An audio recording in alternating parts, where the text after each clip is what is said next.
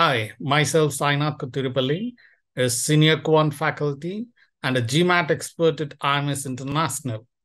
And today's video is on a very basic question that often GMAT aspirants keep asking. How much time would one get on an average per question on the GMAT quant section? So let me tell you that there is no straight answer to this question as what this question appears to be. Because in the quant section of GMAT, there are 21 questions and the time duration is of 45 minutes. So when you divide this 45 minutes with 21 questions, you clearly see that on average, you have two minutes, a little over two minutes time to work. And approximately it's around 129 seconds per question. But that's not how it works on GMAT because GMAT is a computer adaptive test. So the system keeps adapting to the performance of the test taker. If you're consistently getting questions right, then there is a rise in difficulty level. If not, if you're going wrong in the questions, then there is a consistent fall in the difficulty level as well. So understand that not all questions on GMAT section, quant section that you work is of same difficulty level. So on a quite a few questions, probably you may end up working it in less than a minute time. And on quite a few questions, probably you may take two minutes time or probably a little over two minutes time if it's a harder question. So, and moreover, understand that there are quite a few experimental questions on this section. And these experimental questions are not weighted. So, and there's no way you can possibly figure out that the question what you're working is experimental or a weighted question. And these experimental questions can be of any difficulty level. If you're working on a killer math question, probably it can consume a lot of time. So understand that so the strategy that you need to go with is when you read a question and having spent 30 seconds of time on it, you should ideally be able to figure out whether would you be able to arrive at an answer.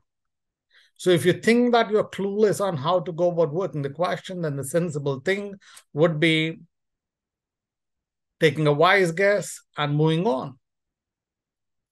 And remember, if you've already started working on the question and you have spent two minutes of time, and if you think that given a minute time more, you can definitely end up with an answer, that's when you shouldn't mind spending a little more, one I extra minute over it and working the question. Because remember, not all questions that you work is going to be of same difficulty level.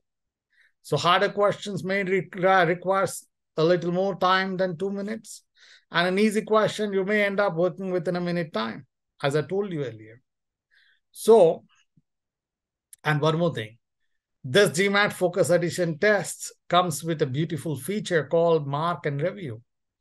So when you read a question and uh, and uh, let's say you feel that it takes a lot of time working a question, possibly you can mark it and come back later at the end of the test section to review it and rework on the question.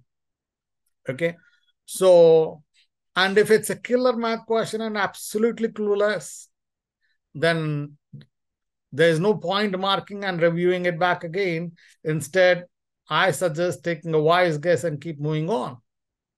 So understand that the key to cracking the GMAT quant section is the time management. I'm just not talking of the quant section alone. The key to cracking the GMAT is the time management. If you effectively manage the time, then you can end up getting a good score. Okay. So to be precise in answering this question, there is no hard and fast rule as such that you should be ideally spending on an average two minutes time per question. Okay. So what works better? Like, as I told you, easy questions, you may end up working in less than a minute time. And if it's a harder question, probably you'll have to spend a little more than two minutes time. You should be open to it doing it. And moreover, you know, uh, it's not it's a very bad idea looking into the timer every single question. So the strategy would be every 10 minutes, you can look into the timer and see whether could you really work five questions so one question here and it doesn't matter. But on an average, are you able to work at least the five questions in that 10 minutes time? So that is something important. Okay. So now, and guys, if you have any questions, please type in your questions in the chat box or in the comment box. We'll be eagerly waiting to see your questions. And until then, so goodbye to you all and happy GMAT preparation.